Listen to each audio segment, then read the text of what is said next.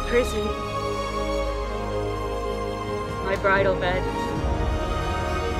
My tomb. My home. Soon I will embrace the ghosts of my family. With one great hope that my arrival will be a cause for joy.